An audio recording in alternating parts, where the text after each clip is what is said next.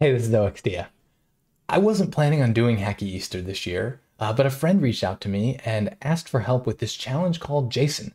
And uh, it ended up being a JQ injection challenge, and I had so much fun solving it. Uh, I actually solved the first six levels of uh, Hacky Easter this year, trying to get to the point where I could put this flag in. Uh, it was actually in level 8, so I didn't get to it, but uh, I had a good time doing it. So I might make a few videos showing some of the interesting Hacky Easter challenges. Um, these are live. Uh, the event is over, but you can go to the site for the month after the event, so about three more weeks at this point, to play with the challenges if you want. Um, you can also just grab the netcat string out of this video and play with it yourself. So um, it's some JQ injection. It's a lot of fun. Uh, let's go ahead and dive in.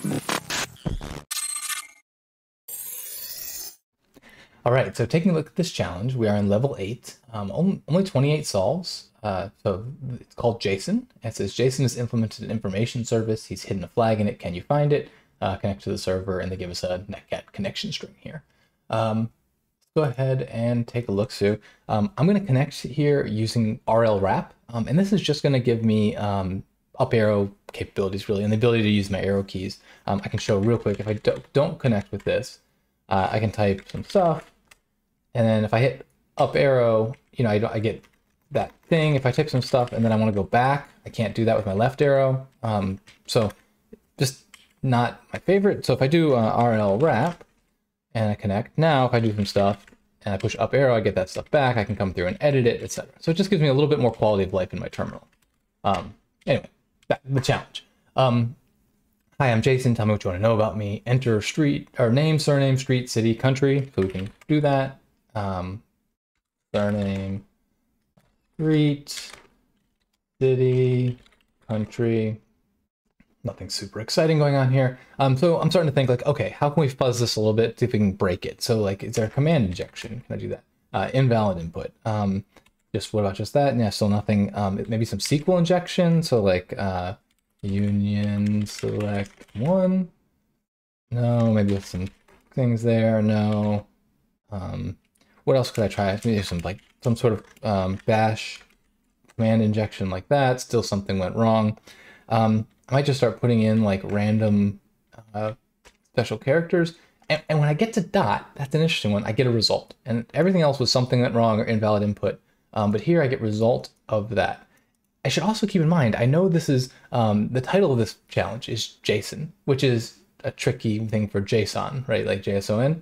Um, so that's like worth keeping in our mind as well. And that looks actually pretty familiar to me. Um, so that right there is actually enough um, for me to have an idea of what we might be working with. But another thing that, you know, I try eventually maybe is square bracket, or I could try putting double square brackets um, and I get JSON.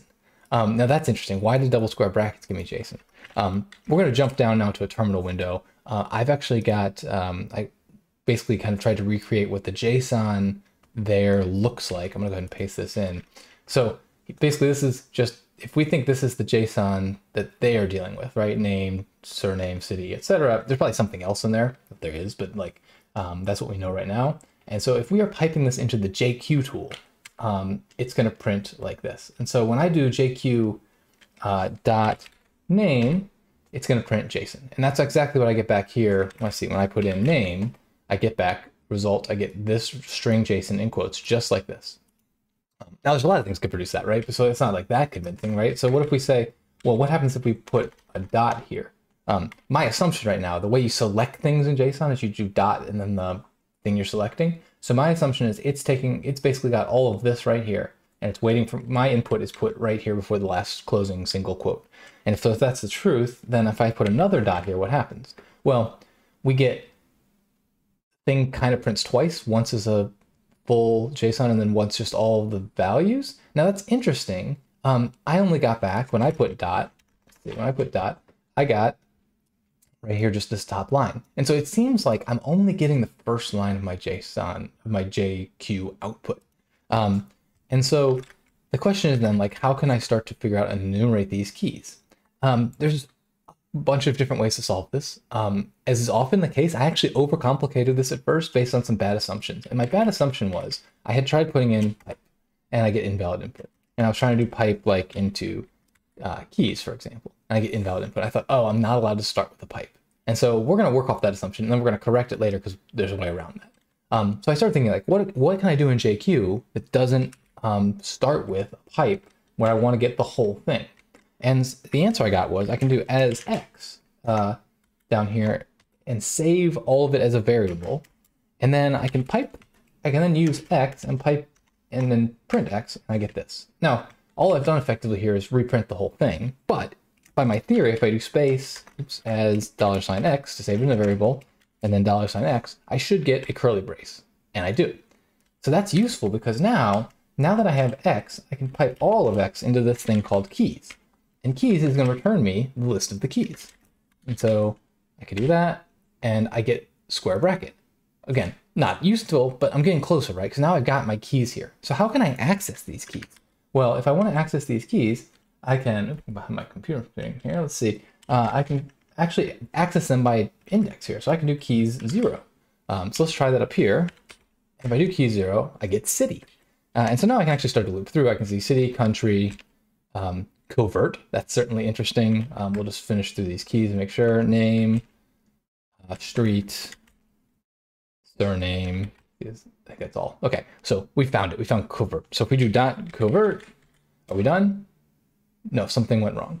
Um, oh, we don't need the dot there. Let's try that. Covert, and we get something. So covert has keys as well, but now we now this is easy at this point, right? We can just do keys. Uh, well, we can't do keys. We can do keys zero, uh, and key zero is flag. So uh, we can get the flag, covert dot flag, just like that, and we get the flag.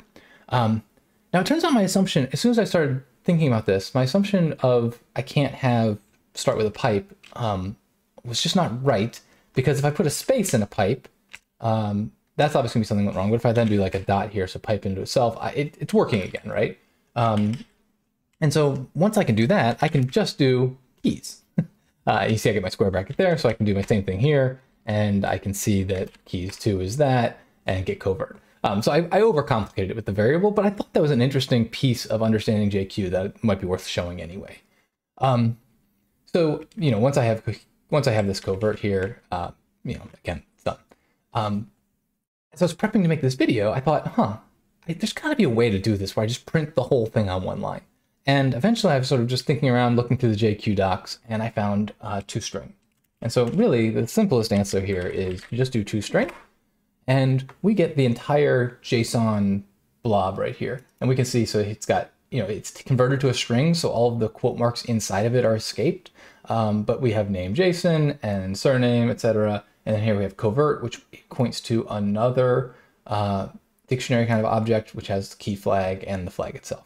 So um, I love JQ. It's a useful, useful tool if you're ever dealing with uh, large volumes of JSON data and you can slice through it super quickly. So um, I just this I love this challenge and it's what uh, kind of got me into playing Hacky Easter this year. So uh, appreciate you hanging out with me today. I hope you learned something about JQ and uh, I'll talk to you next time.